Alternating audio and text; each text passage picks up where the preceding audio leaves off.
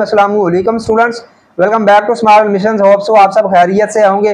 काफ़ी सारे स्टूडेंट बार बार जो है वो कमेंट्स कर रहे हैं, पूछ रहे हैं। Cholistan university of veterinary and animal sciences उसकी सेकंड मैलिस कब लगेगी उसके हवाले से आज की वीडियो में आपसे अपडेट शेयर करने जा रहा हूँ। वीडियो में अपडेट शेयर करने से पहले आपसे रिक्वेस्ट है कि अगर अभी तक आपने चैनल को सब्सक्राइब नहीं किया, इसको लाजमी तौर पर सब्सक्राइब कर लें। ताकि हमारी आने वाली तमाम लेटेस्ट वीडियोस का नोटिफिकेशन आप तक पहुँच सके। जो इसमें पहली मैलिस लगी थी Cholistan university of veterinary and animal science की।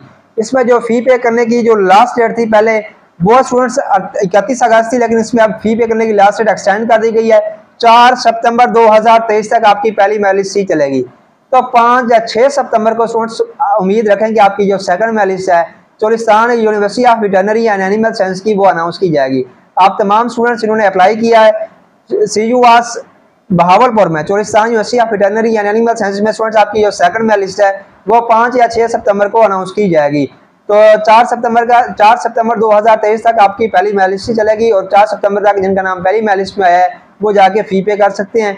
जिनका मेरा पहली मैलिस्ट में नाम नहीं आया स्टूडेंट्स परेशान ना हो, अगली मैलिस्ट में इसका जो मेरिट है, वो मजीद भी डिक्रीज हो जाएगा। तो अगली मैलिस्ट में काफ़ी हद तक इसका मेरिट डिक्रीज हो जाएगा। आपको परेशान होने की ज़रूरत नहीं है। तो इंशाल्लाह इसकी पाँच सितंबर को जैसे ही मैलिस अनाउंस होगी, मैं आपसे इसी चैनल पे वीडियो बनाकर आपको इन्फॉर्म कर दूँगा। परेशान होने की ज़रूरत नहीं है। चैनल को सब्सक्राइब कर लें। इसके अलावा अगर आपका कोई सवाल हो तो हमारी डेली बेस पे जो क्यू एन ए वीडियो आती है क्वेश्चन की वीडियो आती है, उसके कमेंट सेक्शन में जाके आप सवाल कर दें।